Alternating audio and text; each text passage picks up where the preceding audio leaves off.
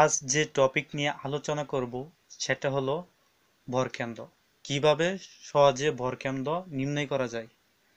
তো এখানে দেখো এল সেকশনে ভরকেন্দ্র আছে এখানে, এটা নির্ণয় করতে হবে। তো এল সেকশনের ভরকেন্দ্র হলো অপ্রতিসম। আমরা প্রতিসম বলতে কি বুঝি, আর অপ্রতিসম বলতে কি বুঝি? প্রতিসম কাকে বলে? প্রতিসম হলো যে কোনো অক্ষর বা যে কোনো বস্তু সহজে, খুব সহজে সমান ভাগে ভাগ করা যায় তাকে প্রতিসম বলে। আর অপ্রতিসম হলো যে কোনো অক্ষর বা যে কোনো বস্তু সমান ভাগে ভাগ করা যায় না, সেগুলো হলো অপ্রতিসম। ঠিক আছে? তো এল কে সমান ভাগে ভাগ করা যায় না এক্স ও ওয়াই দেয়া, তো এটা ভাগ করা যাইতেছে না, তার জন্য এটা হলো অপ্রতিসম। তো অপ্রতিসম ক্ষেত্রে আমরা শুধু এক্স নিম্ন এক্সের মান বাই করব আর ওয়াই এর মান বাই করব। আর প্রতিসমর ক্ষেত্রে শুধু ওয়াই এর মান বাই করব। তো এখানে এল সেকশন আছে, তো এল সেকশন আমরা দুইটা সেকশন করব। এখানে একটা ডাক দিয়ে দেই জয়েন্টে জয়েন্টে ডাক দিয়ে নেই তো এটা আমার মনে হয় ওয়ান ধরলাম। এটা আমরা ওয়ান ধরলাম, এটা টু সেকশন ঠিক আছে? তো এখানে দেখো সেকশন মানে হলো শাখা, ঠিক আছে? সেকশন মানে শাখা। তো শাখা যদি করি, এখানে দেখো একটা আয়তকার ক্ষেত্র মতো হয়ে গেল। তাই না? দেখো তোমরা, এখানে প্রস্থ আছে বিশ সেন্টিমিটার আর দৈর্ঘ্য আছে পাঁচ সেন্টিমিটার। তো আয়তকার ক্ষেত্রে সূত্র জানি আমরা দৈর্ঘ্য গুণন প্রস্থ, তাহলে বিশ ইন্টু ফাইভ ইকুয়াল হান্ড্রেড বর্গ সেন্টিমিটার, ঠিক আছে? তো এখানে একটা কথা, সেন্টিমিটার আর সেন্টিমিটার গুণ করলে কি হয়? বর্গ সেন্টিমিটার। তো তারপর এক্স, তো এক্স হলো বিশ সেন্টিমিটার।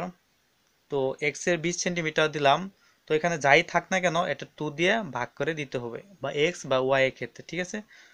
টু দিয়ে যদি ভাগ করে দেই, তাহলে হবে দশ সেন্টিমিটার।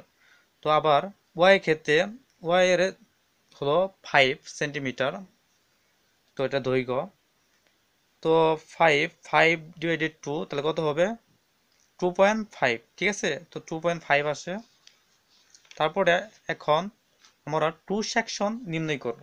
তো টু সেকশনে তোমরা এখানে দেখো, এখানে আয়তকার ক্ষেত্র মতো হলো দৈর্ঘ্য বস্তু আছে, তো আয়তকার তো আমরা দেব এখানে বিশ ইন্টু ফোর কেন বিশ ইন্টু ফোর হলো?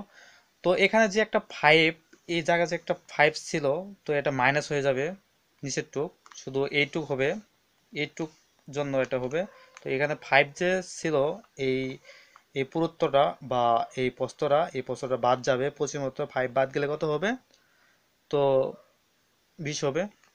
তো তার জন্য এটা হলো বিশ। বিশ হলো। তো এখানে ই আছে প্রস্ত আছে চার সেন্টিমিটার তো বিশ ইন্টু ফোর তার জন্যে, তো এটা গুণ করলে হয় আশি বর্গ সেন্টিমিটার তো তারপর এখানে এক্স তো এক্সের ক্ষেত্রে এখানে দেখো তোমরা এক্স হলো একটা প্রস্থ।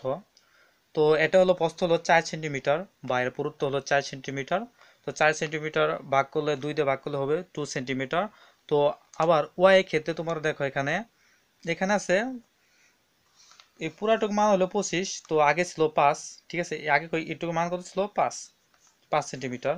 তো এটা পাঁচ সেন্টিমিটার যেরকম আছে, সেরকমভাবে থাকবে, ঠিক আছে? তো পাঁচ থাকল, তাহলে উপরে থাকল কত? বিশ। তারপরে ইকুয়াল পনেরো সেন্টিমিটার হয়।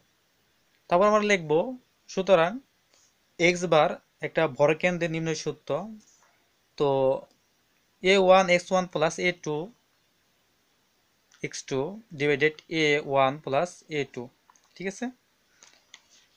এখানে দেখো, এটা মানটা বসে দিলাম আমরা এর মান হলো একশো আয়তকার, তো এক্সের মান হলো টেন তারপর এ টু এর মান হলো আশি, তারপরে এক্সের টু এর মান হলো টু ঠিক আছে?